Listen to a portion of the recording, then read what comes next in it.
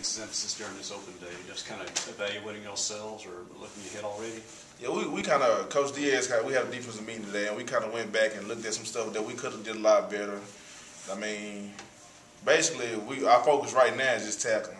So I mean, we got to get better at tackling. I mean, we tackle good, but I mean, we can do a lot of stuff better when it comes to tackling. So I mean, I feel like right now that's our main emphasis right now this bye week. What can you see in the tackling that y'all could be doing better? It's just being smart, knowing what you got to do. I mean, bringing your, your tackling shoulder up and just running through, not gathering your feet. I mean, and a bunch of this stuff coming from young guys. I mean, I did miss a tackle in the backfield, and I mean, he told me that made him sad when he see this when he seen that play. So, I mean, it's just stuff that we know we can do. We just gotta keep reminding ourselves, keep reminding ourselves that we got to do it every play. So. Looking back on your first eight games, how do you kind of assess the way that you're playing out there? I, mean, I feel like I'm playing pretty good. I mean, I still got guys out there that push me. Chris, all of us trying to get to the play first. Chris, Ryan Nelson, especially when Nick was starting, he get on that grunt.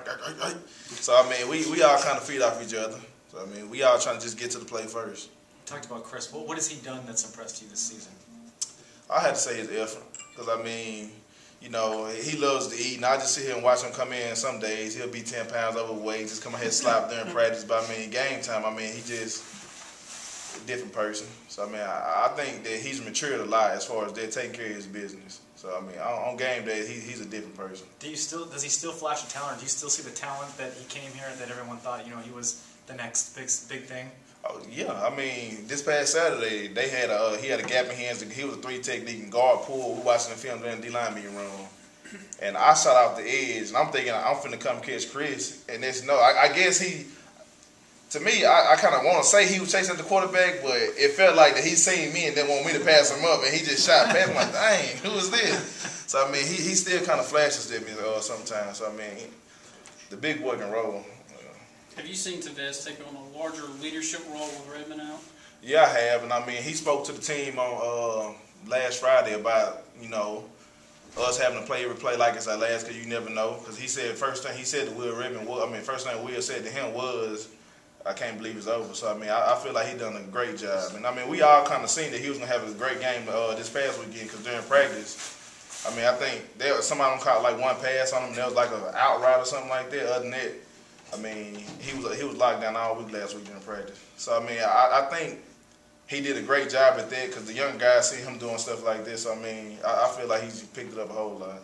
You get to go against the offensive line practice and things. How how difficult, or I say difficult, how much better has that group gotten from the beginning of the year to where they're at now? I feel like a lot better because I mean we had a couple guys first time starting Jamal, Rufus. I mean Justin Malone he was started last year. Justin Senior he was started, and Devin Desper he started like two games last year. But I mean as far as those guys communicating together, I feel like they've done a whole like a, a great job as a whole. And a big part of that, Coach Havison, of course. I mean he fuss at them all the time, but I mean they work. So I, I think they've come a long way after this last game, you moved into the top 10 in career tackles for losses. Coming in, did you think, you know, did you take a look at any of those records and set any personal goals for yourself, or are you just out there playing?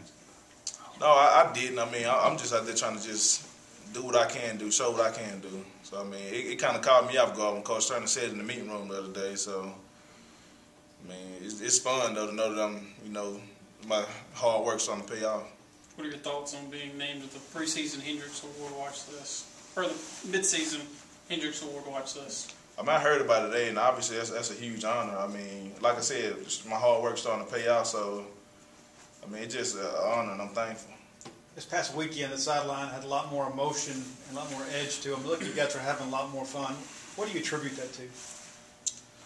Um, I mean, everybody just loves playing football. I mean, we got a lot of guys on the sideline with a bunch of, you know, bunch of characters on the sideline. From our strength coaches, the, our coaches to the players. I mean, and I mean, everybody loves playing football. I mean, the process is going to be hard to get to game day, but once game day gets here, it's, coaches, coaches always tell us practice should always be harder than the games.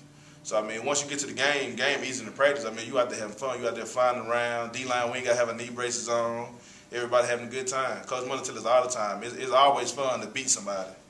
I mean, you want to have fun, just go out there and just beat somebody physically. Just go out there and beat them. And I mean, it's always fun doing that.